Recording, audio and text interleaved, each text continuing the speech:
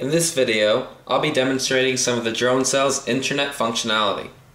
As you can see, I have the Axon microcontroller wired up to the DroneCell, the same hardware setup that I had in the text message video, and all I'm going to be doing is transmitting wirelessly over the cellular network and talking to my remote server.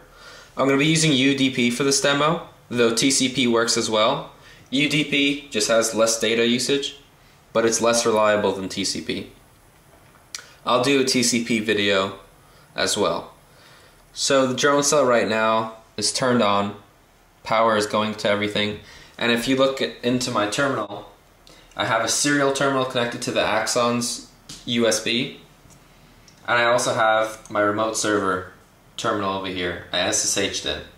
So I'm just running the code. I'm running it on UDP socket 1020 and this is just going to be listening for data and once it receives data it's going to print the data it receives and reply with hello from server. So for example the DroneCell is going to be sending hello from DroneCell. and immediately when it receives hello from DroneCell, the server is going to reply with hello from server and we'll able we'll be able to see all that in the DroneCell's serial terminal from the USB from the Axon. So I'm just going to press a button to get everything going. And what's happening now is if you take a look a little bit closer, the DroneCell is connecting to the network.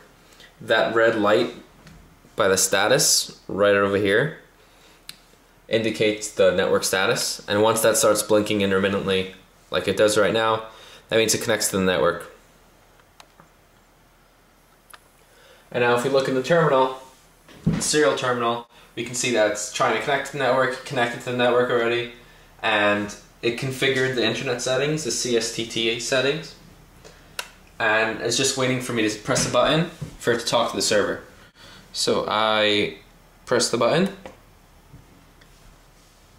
and you can see in the serial terminal, it connected okay, the transmission was successful, and it got hello from server, and if we look in the serial terminal over here, we see it got hello from term from DroneCell. So that's really how easy it is to use internet communication. And you can also go a little bit deeper and use this type of thing to connect to FTP sites, to send emails. You can really do whatever you want.